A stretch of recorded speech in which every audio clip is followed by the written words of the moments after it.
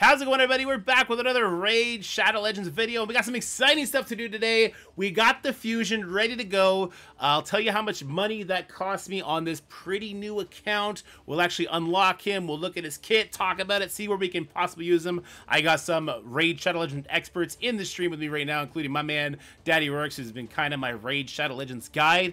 Before we do that, before we get into that, rather, I got some really exciting news. Raid Shadow Legends, in the partnership with me, has increased the benefit of trying Raid Shadow Legends for the first time if you download the game using that QR code in the bottom right corner, now in the middle of the screen, or with the link in the comment section below and in the description, they are upping the rewards. So for the fifth anniversary until the end of the promotion, we have a new pack available to players who download using that code, worth $100. So we're going to get one epic hero, Tyrel. Tyrel is a high elf character. He's a defense character, and he is really, really good. I had to look up this character, get some opinions from my guys, and he looks great. So he's a great high elf character. If you pair him with Elhain as a starter character, you'll have two super good high elves to help you immediately burst through that section in the Faction Wars. I've also heard he is amazing in the Doom Tower, so super excited that Raid Shadow Legends is going to be giving this character to players who start, again, using that QR code in the bottom corner. But it doesn't stop there. They're also going to give you 5 XP boosts, 500,000 silver, 5 energy refills, and 5 rank up chickens at rank 3 right from the start. So you're going to be able to bring up your starter character to rank 4 almost immediately, plus have one left over. And then after you reach level 25, more awesome rewards. So 25 arcane potions, 5 epic books, which will be really good to help you get your Tyrel's abilities up. Uh, another 500,000 silver, 5 more energy refills, and 5 magic potions. Once again, that'll help you get your Tyrel up and running, and this is only available until Raid's 5th anniversary ends, so if you're to download the game, now is definitely the time to do it. Head on over there, get this amazing character for free, once again, using that QR code, or downloading using the link in the comment section below and in the description. Alright, let's get into this right now. So, we got the portal. It took me forever to get this fusion ready. So, for those who don't know, I can't even do him anymore. He's gone. All right, so uh, there was uh, character shards available in events. There's definitely an event I can still show here. No, not that one. It'll be in tournaments, I suppose. Well, it was this guy right here. Um, so you're able to get fragments for this character from various events. You needed to get him unlocked four times and then built him up. So it's about 16 events that I had to compete. Now, if I'm being honest with you guys, I did have to drop money because as a fairly new player, I did not have um, the resources built up, the hordes, the shards, all that built up in order to get him. So I did drop and, and cover your ears, everybody. I dropped about 250 Canadian dollars to be able to complete all the events. I probably will never do that again. It's a little bit out of my budget for this, but it's a business sense for me. This character looks really fun, and I wanted to make this video for you guys, so hopefully you enjoy it. But this fusion event did require you to have this character, four versions of him, fully ascended and ranked up to the fifth star, and I got all that done. So let's go ahead. Uh, champion is unlocked. Yes, here we go. We're going to unlock our first fusion character ever. Excited for that? Bam, bam, bam. Why can't I do this? Oh, we just gotta do it like this. Okay, here we go. I was a little confused there. So this will be our first fusion character. He looks super cool. He's really good in the arena, but I heard he's good elsewhere. So here we go. We're doing it ahead of time. Four days ahead of time. Let's go! 1,000 silver. Holy moly. But we need this. We need this. We've been fighting for this. Here we go. Boom. Oh, I love the yellow. And here he is. So Armanz the Magnificent. He's the support character from the Barbarian. So very much looking forward to crushing the faction war with this character now, as I did need a Barbarian leader. Not that leader is not a thing or anything like that, but he's going to be really good. Um, let's look at his skills. Sorry about that quick edit, guys. Did get the footage corrupted, unfortunately. So let's go over his kit once again, and let's take him into battle, especially into the arena, because that's where this character is going to shine very, very brightly. So if we look at his A1, he is going to be attacking one enemy, 35% chance of increasing the cooldown of a random active skill by two turns. This is really impactful. And then fills this champion's turn meter by 10% for each turn added to the cooldown. So this is great. So if he does it by two turns, he'll get 20% speed bar, increasing the amount of turns he's taking overall. When we look at the rest of his abilities, that's dope. He has buff debuff chance up to 20% if he gets his tomes, bringing that up to 55%. I really like that. I think there's a lot of characters who get no value if they get their legendary tomes into the A1 abilities. This character is definitely not one of those. His A2 attacks all enemies. steals all the turn meter, all the turn meter, of each target except enemies under sheep debuffs. Also places a stun debuff for one turn on all enemies not under a sheep debuff.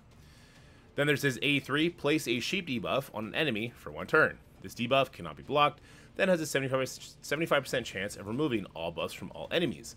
Fill this champion's turn meter by 5% for each buff removed.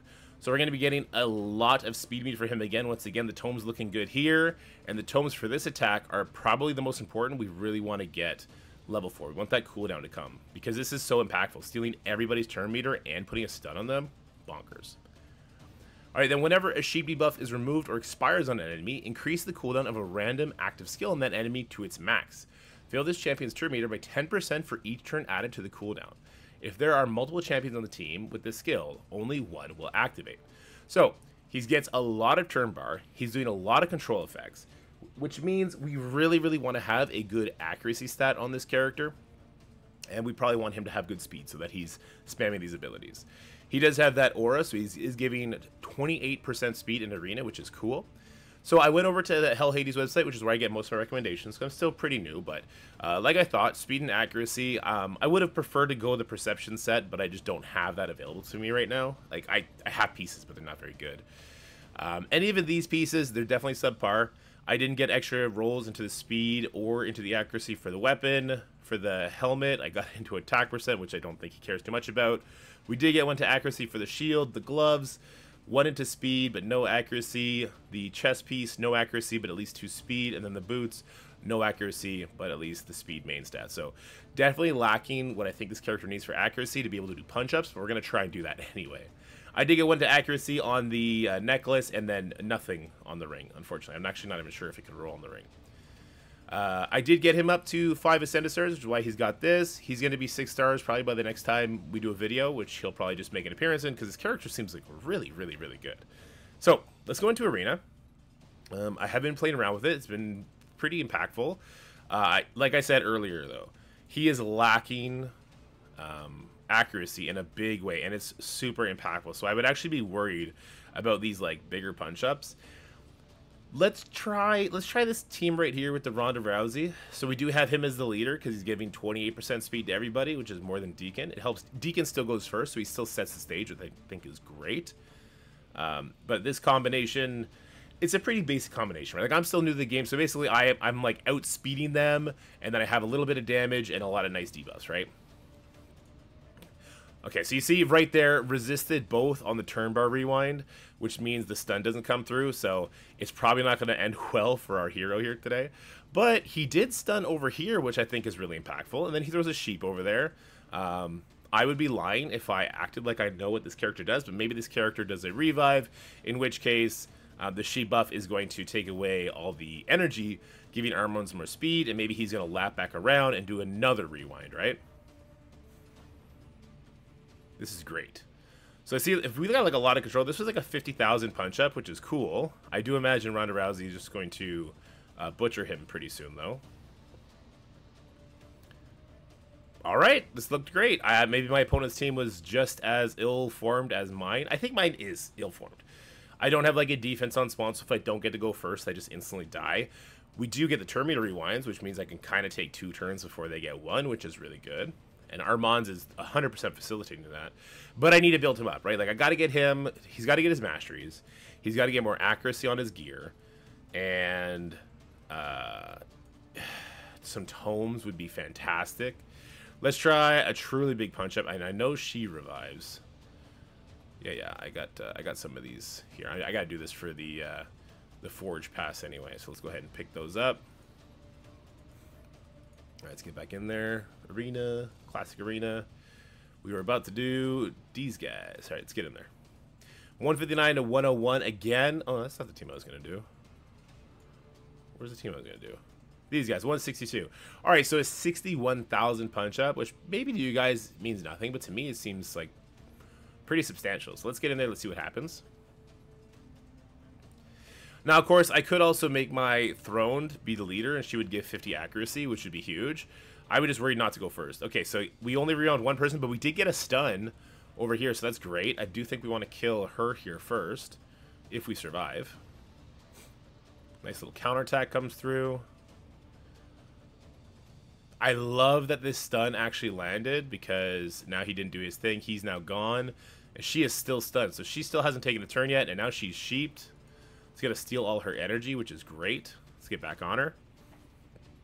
So you can see, like, his kit 100% facilitates big punch-ups, but he he himself definitely wants to be built up. Like, he definitely wants a good accuracy stat. I think he's, even though he's getting lots of speed bar, I think he would thrive with a good uh, speed stat as well. So I'm definitely excited to build this character up. I'm also excited to see what he's going to do in um, the Doom Tower for me.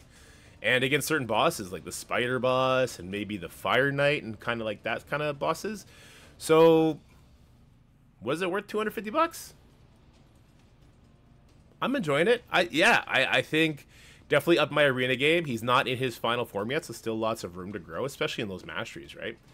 Uh, yeah, let me know what you guys are thinking about this character. If you are new to Raid Shadow Legends, make sure you download using that QR code over there for all the goodies we talked about, including that epic Tyrel, all the silver, the epic books, which is really nice. Lots and lots of stuff to sink your teeth into if you're going to start. Uh, during this anniversary event, you get so much good stuff. Oh, looks like he died there. Not that big a deal. All right, guys, have yourselves a great day. We'll talk soon. Bye. That's it for the video, guys. I hope you enjoyed it. If you did, make sure you like, share, and subscribe. Stay happy, healthy, have fun, and I'll see you in the next one.